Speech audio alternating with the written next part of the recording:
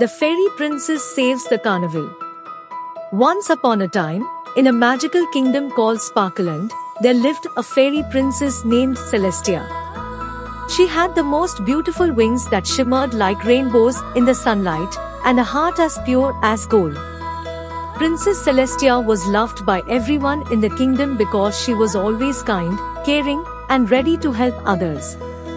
Every year, the Kingdom of Sparkleland held a grand event called the Sparkleland Carnival.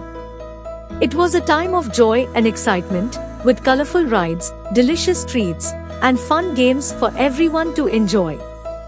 The entire kingdom would come together to celebrate, and it was the highlight of the year for all the fairy tale folk. But one year, just as the preparations for the carnival were underway, a dark shadow fell upon the kingdom.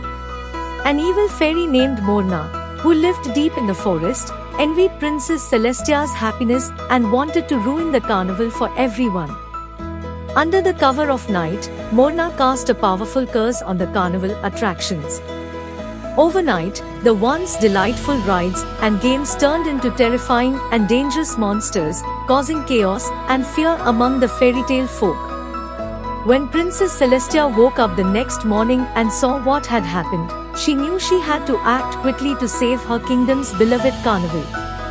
With bravery in her heart and determination in her eyes, she set out on a quest to confront Morna and break the curse. Through enchanted forests and across treacherous mountains, Princess Celestia journeyed far and wide, facing many challenges along the way. But she was not alone. Alongside her were her loyal friends, a brave knight, a clever wizard, and a mischievous pixie, who helped her overcome every obstacle they encountered. Finally, after many trials and hardships, Princess Celestia and her friends reached Morna's dark castle. With courage and determination, they confronted the evil fairy and pleaded with her to lift the curse she had placed on the carnival. But Morna, filled with jealousy and hatred, refused to listen. She laughed wickedly and unleashed her dark magic upon Princess Celestia and her friends, hoping to defeat them once and for all. However, Princess Celestia and her friends refused to give up. With their combined strength and the power of friendship, they fought back against Morna's dark forces.